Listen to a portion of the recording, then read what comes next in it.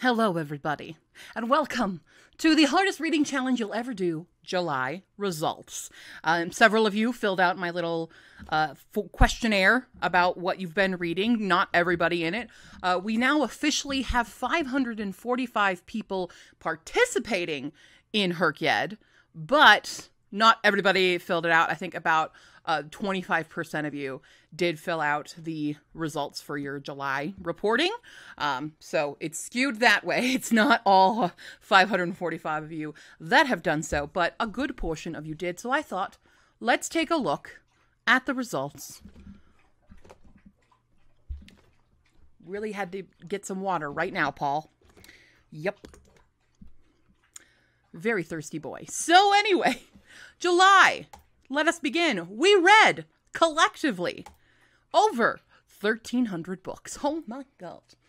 1,300 books. And that's just the quarter. So if if we had, you know, over 500 people doing it, that's like 25%, multiply that by four.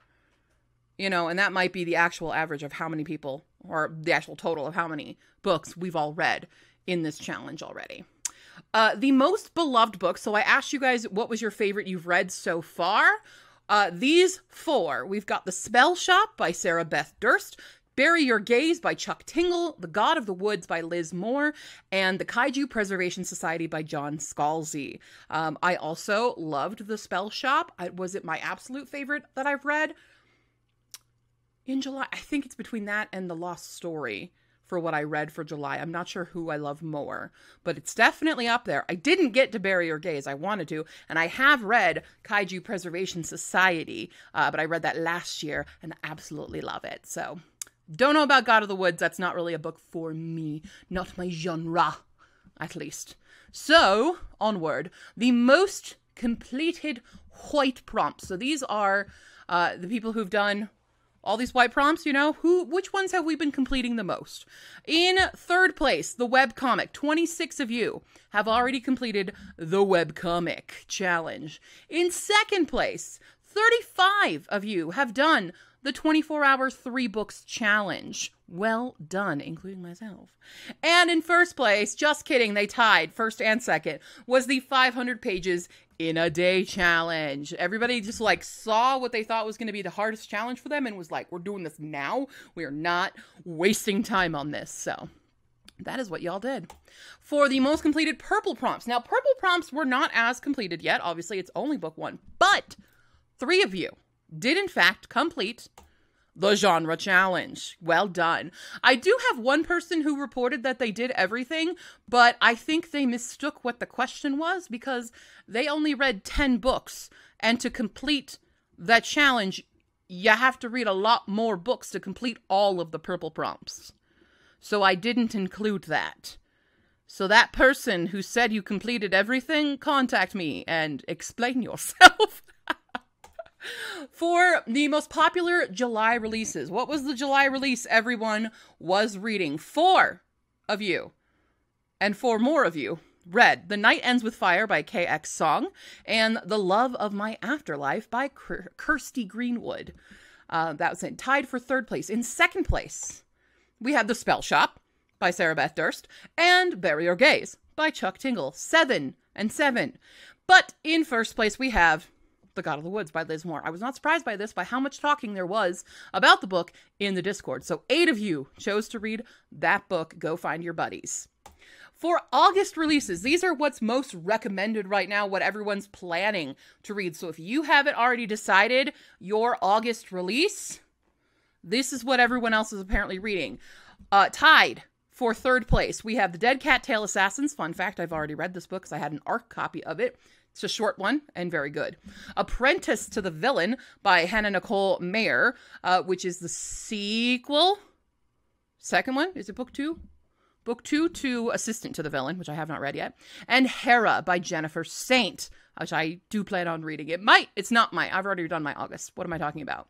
Uh, in second place, we have A Sorceress Comes to Call. 10 people are planning to read this. I have already read this and completed for my August release, and it was fantastic. If you want a super dark Goose Girl retelling, there you go. And of course, the most anticipated August release for everybody is The Pairing by Casey McQuiston, which I have also read. I'll be talking about my thoughts on that later. what was voted the most difficult challenge? This is just overall, what do you think is going to be the most difficult challenge? SPFBO is in third place. Nine of you thought that the finding the SPFBO non finalist was going to be the most difficult. Uh, oops, and then I just double clicked it. Whoops. Oh well, you know, you know. 500 pages. Click off.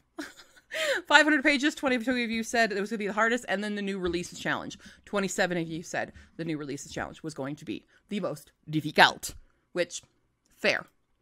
Voted the easiest challenge, fun fun stuff on here, the indie author, getting and buying directly from an indie author. Six of you said, that's going to be easy for me. Well done. Then the web comic. 18 of you said that would probably be the easiest. I agree. It probably will be. And then the genre challenge, surprisingly, the purple prompt, uh, with 19 of you saying that this will be the easiest challenge. Well done. Uh, the most read summer read. So if you're still looking for your summer read for the seasons challenge, here's what other people have read. We've got Beach Read and The God of the Woods by Liz Moore. Both apparently are set in summer. Sorry, I don't know why my little little guy keeps popping up here. We're all we're we're 30 to, out of 51 slides. uh, so those are tied for second place, and in first place we have Just for the Summer by Abby Jimenez.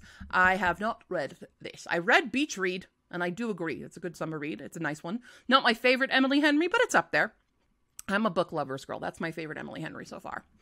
All right. Oh, we've got more. Sorry. I, I keep double clicking on accident. My bad. So these are some more summer reads that were recommended, just in case anybody needed some. Uh, we have A Curse of Blood and Wolves, A Novel Summer, A Room with a View, if you want a classic. Uh, Book Lovers, which I already said is one of my favorite. Camp by L.C. Rosen, I own and have not read yet. Camp Quilt Bag looks very cute.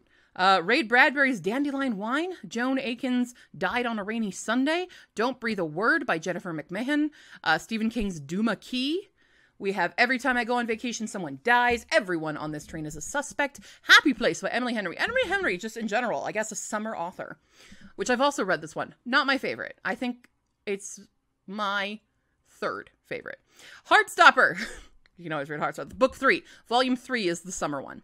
Home Before Dark by Riley Sager. Into the Waters by Paula Hawkins. It Happened One Summer by Tessa Bailey. Uh, Arte, Le Sieste, which was a French translation someone wrote, was a French translation of Chinese poems, I believe. I could not find an English translation, so if you speak French, here you go. Uh, Liar's Beach by Katie Cotugno. Love and Olives by Jenna Evans Welch, which I believe is the second one. Love and Gelato was the first one. I don't know if that's also a summer read, but I do own it, and it is a bomb book. We have Malibu Rising by Taylor Jenkins Reid, Middle of the Night by Riley Sager, One Crazy Summer by Rita Williams Garcia, uh, Slugs by Sean Hudson, uh, Something Wilder by Christina Lauren, Summertime Render, uh, Volume 1 and 7 were both recommended here.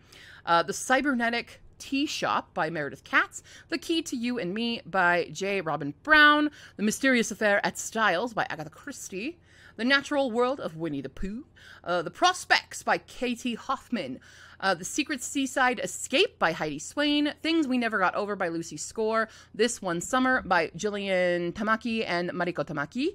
We have This Summer Will Be Different by Carley Fortune, Mary Stewart, Thunder on the Right, We Were Liars by E. Lockhart, The Wet Hot Allosaurus Summer by Lola Faust. You bet your bottom dollar I'm putting that on my list. Wish You Weren't Here by Aaron Baldwin. And finally, While Justice Sleeps by Stacey Abrams, July 1914. Uh, Sean McMeekin. Uh, McMeekin? McMeekin. Sorry. When the Storm Comes by Karina Schnell. The Rule Book by Sarah Adams. And Color Scheme by Ngaio Marsh. Beautiful. The most wrecked booktuber. There was a ton of booktubers and author tubers re- uh, recommended, by the way. But this two, sorry, I forgot if it was one or two. Two of them were the most recommended Leandria, Leandria, Leandra, the TBR Zero, and Library Unbounded were highly recommended. Everybody go check them out. And for the most recommended author, author tuber was me, but I didn't want to put me in it. But in next place, it was Willow Talks Books highly recommend. I just went and subscribed to them. I didn't know about them, and I think they're a really cool person, and I would like to be friends. I have indeed. I, or by the time this video goes up, hopefully, I might be a bit delayed, time wise, because things have been crazy here. I will have an entire list, a little spreadsheet with everybody's channels on it so y'all can just go on a follow party and we can just follow everybody, all these booktubers and author tubers, and just give them some love. Go show them some love, comment on some of their videos, tell them that they're doing awesome, you know, because a lot of the booktubers, you know, they're little tiny baby booktubers like myself and can always use more subscribers and more love in the world. There you go. All right. As for my progress in Herked, I had you guys guess how many prompts or how many pro- yeah prompts did I complete already? 27 of you guessed correctly on how many I've done. And that answer was 3. I've only completed 3 squares. What were they though? 500 pages in a day. Several of you guessed correctly. The 3 books in 24 hours. Several of you guessed correctly. The next one no one guessed. Not a single one of you guessed what it was and that's because I didn't post about it, but I posted about these two. The third prompt I have already completed is the protagonists. I have completed three books with protagonists of with names of people I know. Well done, me. As for the question about Create-a-thon, fun facts. 68.8% of you didn't know what it was, but were intrigued. 10.2% of you were on the fence. 6.3% of you already know what it is and are already in. And 14.8% of you are like, no. No, thank you. Thank you. Next. So there you have it. More info coming this Friday about Create-a-thon. And that's it. Bye. Hope you guys enjoyed this. We will be doing more uh, check ins throughout the year. We'll probably do another one almost probably every month. Uh, so keep an eye out for those Google Forms coming out to you so we can keep up our stats because you know me, I love some stats. I hope you're all having a very happy Herked and doing great. And uh, yeah, get back to reading. What are you doing watching this video? Go away. Bye.